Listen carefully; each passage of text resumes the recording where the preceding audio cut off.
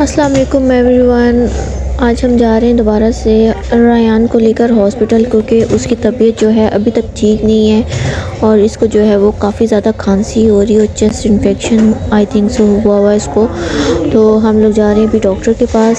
Same hospital इतफाक़ और blood सी के doctor जो है वो इसको आज एडमिट करते हैं या नहीं। अब्दुलरमान जो है वो मेरे साथ ही है और अब अब्दुलरमान को हम घर नहीं छोड़ सकते थे क्योंकि घर में और कोई भी नहीं है उसको देखने के लिए, क्योंकि ये ख़ुद भी अभी छोटा है, दस साल का है तो इसको जो है वो हम अपने साथ ही लेकर आए हैं। होपफुली आज हम स्टे ना करें, लेकिन अब देखो डॉक्टर क्या कहता है कि वो कंडीशन पे डिपेंड करता है कि रयान की तबीयत कैसी है।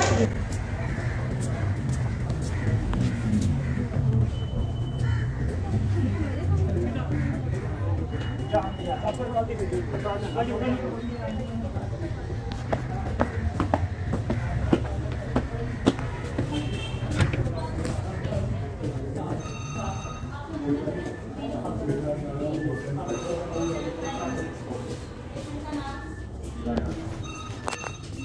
इस वक्त जो है हम दोबारा हॉस्पिटल आए हैं रेयान को लेकर।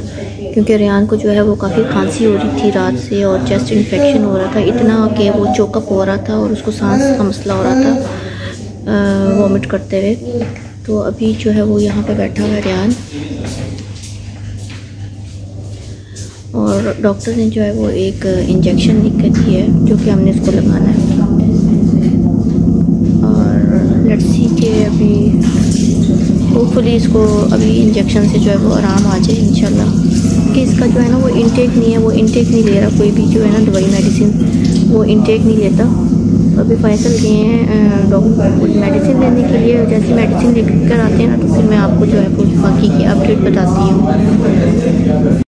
यहाँ पे जो है काफ़ी बच्चे बीमार है और सामने आप देख सकते हैं, छोटा सा बेबी जो है वो मदर की लैब में है और इसको जो है वो चेस्ट इन्फेक्शन हुआ हुआ है और इसको भी सांस का मसला हो रहा है। बाहर जो है वो बहुत ही ठंड हो रही है फॉग हो रही है और बहुत ही जो है इस वक्त स्मोक और फॉग शुरू हो गई थी।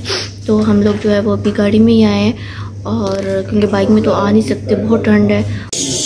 यहाँ जो है वो अभी नेबलाइज कर रहा है और फैसल ने इसको पकड़ा हुआ है। क्योंकि इसको बहुत रेशा हुआ हुआ है चेस्ट में। वो देखे निकाल दिया उसने सारा।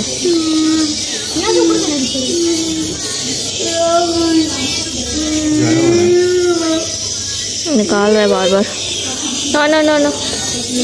दवाई ज़ाया हो जाएगी सारी।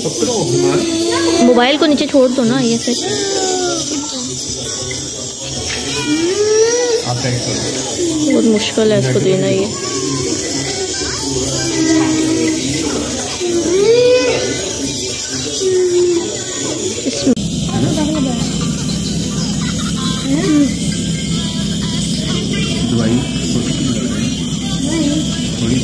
इसमें है। नहीं उसमें है।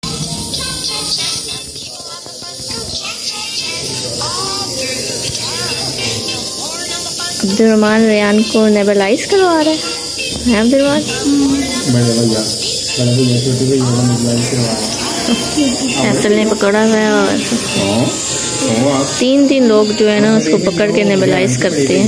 तो कितने आराम से ले रहे हैं? बहुत अच्छी बात है ना अपने छोटे भाई बहन के साथ।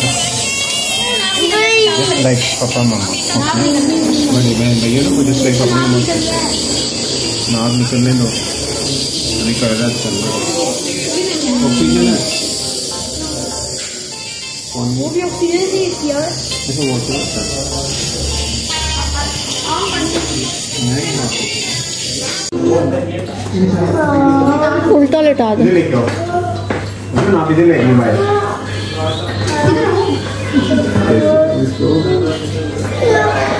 जो है वो इंजेक्शन लग चुका है और अब जो है हम लोग जा रहे हैं घर क्योंकि डॉक्टर ने कहा था कि अगर तो ये दवाई नहीं लेता तो फिर इसको जो है वो एडमिट एडमिट करेंगे हॉस्पिटल में, तीन दिन रहेगा हॉस्पिटल में, लेकिन उसके लिए जो है वो आपको पहले ओपीडी आना पड़ेगा और बड़े डॉक्टर से कंसल्ट करके उसके बाद जो है वो आप इसको जो है वो हॉस्पिटल एडमिट करवाना।